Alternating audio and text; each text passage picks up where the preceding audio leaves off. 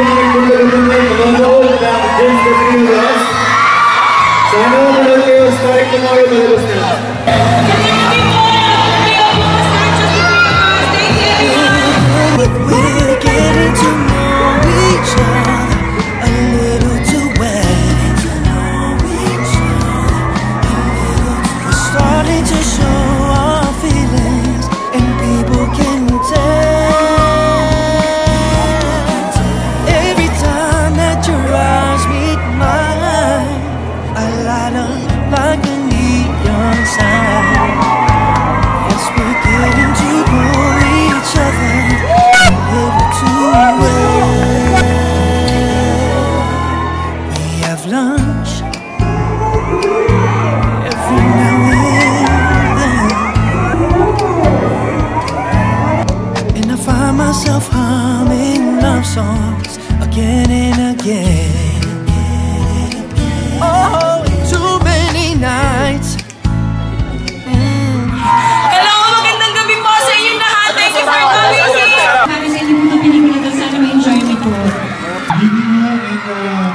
All our friends, families, and uh, colleagues, and uh, bosses who are here tonight. Maraming maraming salamat po para po sa inyo. Especially sa lahat ng fans na nandito ngayon.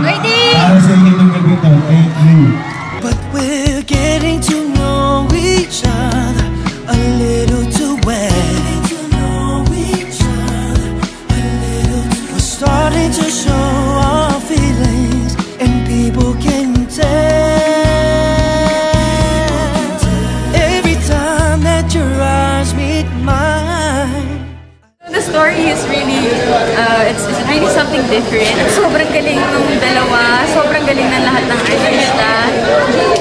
Well, Derek Cathy, she never fails to give us really uh, uh, to express the story na sa, sa movie na may pakita niya. Kikiligin ka kasi nakakit, nakikinig sila, lalo dun sa montage sila na talagang parang yung mga tao, woo, gumagano, pati ako, pati kami, parang, Matawang ay, oo, ay, hirap pigil. Oh my gosh, Maganda. kinilig ako, naiyak ako, lahat na may emosyon nilabas ko na ngayon. Sobrang kinilig ako. Yeah, it's really a beautiful movie, sobrang maganda. Yeah. Pwede siya sa lahat actually at may matututunan talaga na aral. Tsaka hindi siya heavy. Gusto mong maging masaya, film siya to. nakaka-touch siya kasi Maganda yung movie kasi, uh, about siya sa family. family. Tsaka nakakakilig silang dalawa. oh, kasi bago sila sa paningin eh. Fresh sila John Lloyd and Ate Jenny. Ako na sobra. I wasn't expecting that at all. And um, nakarelate ako kasi I'm the same. It took me 23 years before I found my dad. So it was amazing. It was it wasn't unexpected at all. So it was good.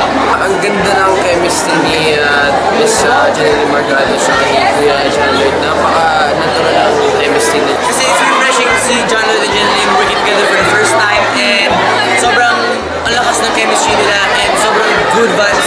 Feel good yung movie lang siya love story, tungkol siya sa family. So yun, so um, okay siya kasama yung girlfriend or family, lahat kayo makakasama. nakakatuwa na uh, ibang timpla ang binibigay ng Star Cinema na yun. No? You know, you've never seen Jeneline in a Star Cinema film before. Especially with John Lloyd. So, it's exciting, exciting. Galing ni Jeneline. Mga kapamilya, just the three of us palabas na po. Siyempre, it's under Star Cinema, Yan, worldwide. napapanood niyo po siya worldwide. So abangan po ninyo. Magugustuhan niyo, promise.